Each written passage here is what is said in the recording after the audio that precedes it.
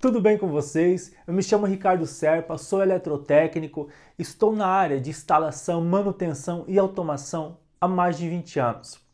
Eu aprendi nesse tempo que quanto mais conhecimento você tiver, mais trabalho você pega e, obviamente, mais dinheiro você ganha. Para ampliar o seu conhecimento e te ajudar, eu vou trazer aqui um aulão, uma aula maravilhosa sobre eletropneumática. Agora, de repente, você vai me perguntar o que é eletropneumática. Eletropneumática é o sistema elétrico para controlar o sistema pneumático. Vamos falar primeiro sobre sistemas pneumáticos. O sistema pneumático está presente em muitos lugares, nos postos de gasolina, para encher o pneu do seu carro, da sua bicicleta, nos comércios, onde você tem sistemas que utilizam compressores e principalmente nas indústrias, onde você utiliza a pneumática para movimentar muitas coisas das máquinas. Vamos falar agora sobre elétrica. É necessário dispositivos elétricos para comandar os dispositivos pneumáticos. Então aí você tem a eletropneumática. E são poucos profissionais que trabalham nesse mercado. Então eu vou trazer uma aula bem legal para vocês terem uma introdução, uma noção do que é eletropneumática. Agora vamos nos aproximar desse painel para a gente aprender nesse aulão aí sobre eletropneumática. Lembrando que essa aula é totalmente gratuita, então vem comigo.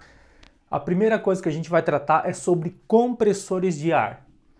O compressor de ar nada mais é do que um dispositivo que faz a captação do ar através de um motor e leva esse ar até um cilindro, que é o seu reservatório. Você tem diversos tipos de compressores. A gente está utilizando aqui nessa aula um motocompressor. Por que motocompressor? Porque o motor é acoplado justamente ao reservatório. Quando você tem outros tipos de compressores e outros sistemas, você tem um motor acoplado a uma polia, então não é chamado de motocompressor. Esses compressores têm diversos tipos de reservatório, que são chamados os cilindros esses reservatórios possuem uma grande pressão e devem ter a sua certificação para não colocar ninguém em risco. O compressor armazena, ele é capaz de pegar o ar comprimido e comprimir ele dentro do seu reservatório. Quanto maior for essa compressão, maior você terá pressão de ar, onde a gente mede aí é, em libras, bar ou PSI. Agora eu vou mostrar para vocês um negócio bem legal. Dessa mangueira que sai do compressor, ela vem por dentro, passa pela canaleta e segue viagem. Ela vem por aqui, dá a volta e entra aqui no nosso lubrifio. Aí você vai perguntar o que é lubrifio. Lubrifio, ou unidade de conservação de ar comprimido, nada mais é do que um dispositivo que vai filtrar as impurezas, as partículas, vai reter o líquido para depois ser expurgado aqui por baixo, né? O líquido vai sair aqui por baixo por esse dreno. Vai ser controlado a pressão através dessa válvula reguladora, né? Você coloca ela para baixo, trava, coloca ela para cima. Sentido horário você libera a pressão, sentido anti-horário você retira a pressão.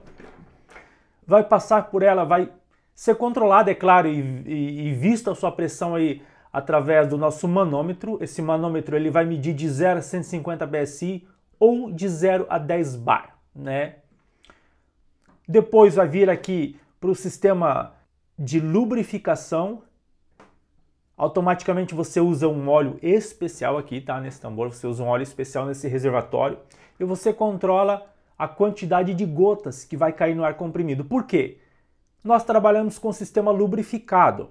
Os nossos é, atuadores precisam estar lubrificados. É diferente de um sistema que não necessita de lubrificação, que é então o sistema de ar comprimido em hospitais, é, consultórios odontológicos, que é um outro segmento, né? Mas o nosso sistema não, nosso sistema é um sistema voltado para a indústria, para o comércio em si, ou até mesmo para postos de gasolina, precisa estar lubrificado.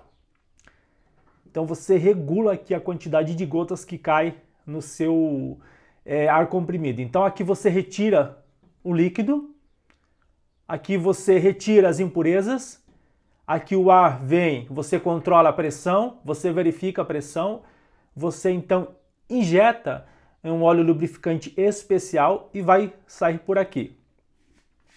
Isso aqui são conexões com engate rápido, isso aqui É uma tubulação eletropneumática flexível de 8 milímetros. Você aperta aqui a conexão para retirar a tubulação, ó. Vocês estão vendo? E você insere ela apertando, ela entra.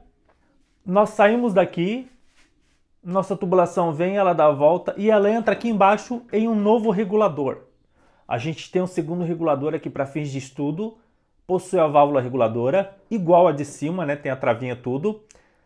Aqui nós temos um segundo manômetro, ele é um pouquinho diferente do primeiro. Esse aqui mede de 0 a 140 psi ou de 0 a 10 bar.